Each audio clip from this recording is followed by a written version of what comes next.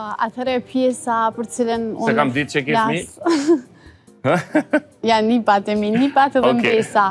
Po, atëherë pjesa për të cilën flas me më shumë emocion dhe krenari pa dyshim që është familja ime. Unë mund të them që jam shumë krenare, fillimisht që e kam një familje të shëndoshë dhe një familje e cila më ka përkrah përgjatë gjithë jetës sime. Sikurse në sfida, ashtu edhe përgjatë sukseseve të mia. Unë asnjëherë nuk kam folur për këtë pjesë edhe nuk e parapëlqej shumë që të ekspozohem edhe ta pasqyroj jetën familjare e posaçërisht nëpër rrjete sociale, sepse më tepër jam e fokusuar tek pjesa e punës dhe aktivitetet e mia të përditshme, edhe ndoshta shumë herë, Përmes rrjeteve sociale e pasqyrojmë, nuk e pasqyrojmë siç duhet atë brendësinë që e kemi njerëzore brenda vetes, pozitivitetin, humanizmin e shumë gjëra tjera pozitive, por desha të them edhe këtë pjesën për mua personalisht, përtej Instagramit tim, sepse komentohet tepër ajo pjesa e Instagramit tim, Desha të them që për njerëzit të cilët nuk më njohin, Kadria është një vajzë shumë e dashur, shumë familjare edhe shumë humaniste. Ok. Ndërsa sa i përket, sa i përket familjes, ndjenjë shumë e veçantë për mua është epiteti hallë, ku këtë për herë të parë ma dha nipi im Almani, me të cilin jam këtu në këtë fotografinë e parë. Mhm. Po viti të cilin e veçoj më së shumti është viti 2020, ku nipi im Ylli, nipi i vogël pra që shihet në foton e tretë, mhm. e ka kaluar një operacion me sukses, pra ku ka qenë një operacion në sy, disa ditë pas lindjes të cilin e ka pasë.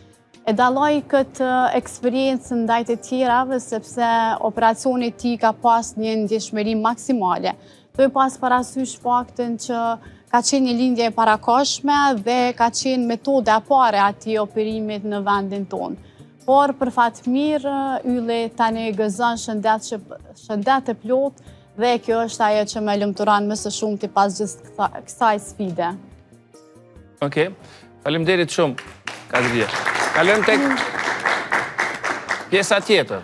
Atë këtu janë pra disa fotografi, fotografia e fundit atje është paraqitja ime e parë në televizion, këtu kam qenë ende në shkollë të mesme, jam me Shukin nëse ju kujtohet ka qenë reality show VIP shpia, ku e kom pas rolin e asistentes me Shukin. Normal ajo pjesa e parë, pra dalja e parë para kamerës, ka qenë... Ka qenë një variant i Big Brother, po, domethënë, po, pjesa e Kosovës. Ka qenë dhe, ka qenë frika dhe emocioni ma i, i papërshkrushëm i asaj kohe, normalisht. Unë po, në fakt, pjesë e aparatit fotografik isha dhe pak më përpara, po ajo ndjenja para kamerës dhe përgjegjësia ka qenë krejt diçka tjetër. Uh, Do me thonë që sikurse frika para vdekjes. Pas kësaj kohe fillova edhe të studioj gazetarinë dhe të jem edhe pjesë e disa projekteve tjera televizive kohë pas kohe. Mhm. Ndërkaq këto fotot e tjera kanë të bëjnë me punën time të përditshme si prezantuse sportit në radiotelevizionin Dugagjini, punë me të cilën ballafaqohem në baza ditore, Sigurisht që si çdo punë tjetër edhe kjo bart me veti përgjegjësi, stres, lodhje, ngarkesë, Po, e mira e gjithë kësaj është perspektiva që më jep ky profesion dhe kjo eksperiencë, tuj pas parasysh që kom rastin kohë pas kohe të realizoj dhe intervista me futbollistë mjaft të suksesshëm të cilët na përfaqësojnë edhe në arena ndërkombtare. Faleminderit shumë. Okej, dhe Foto e fundit? Po. Grupi i fundit i fotografive? Po, këto janë disa fotografi. Kjo fotografia e parë është, domethonë, i përket fushës së modës, kur kam qenë një kohë shumë shumë e re, ende në shkollë të mesme, kam qenë pjesë e disa aktiviteteve edhe jashtë vendit nëpër arena ndërkombtare, duke përfaqësu Kosovën si miss, në atë kohë, kur do të thotë, Nuk kemi pasur hapsirë, nuk ka pas, nuk i kemi përdorë, faktikisht rrjetet sociale, kanë qenë mundësitë shumë të vogla dhe pothuajse nuk kanë qenë fare. Edhe pas gjithë kësaj eksperience të cilën e kisha në atë kohë, erdhi një moment edhe një moment i papritur edhe një ëndërr e secilës, do me thonë, secilës vajzë që i përket fushës së artit, që të jem imazh i një brendi botëror siç është Guessi. ku pra siç e dimë përfaqësohet nga shumë yje të njohur botëror siç është edhe Jennifer Lopez një ndër to.